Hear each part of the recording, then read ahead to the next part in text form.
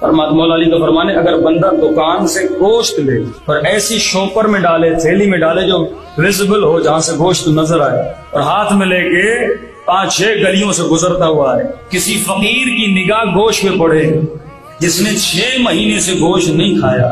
ये कहेगा कयामत में खुदा, मैंने कौन सा गुना किया था? अल्लाह कहेगा तुमने एक भूखे को गोश्त खाया था, उसके दिल में तुमने हसरत को पैदा किया।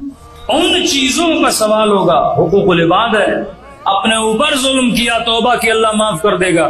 लेकिन तेरी वजह से किसी के ऊपर कोई असर होता है, कोई खातून हिजाब होकर रोड पे चलती है।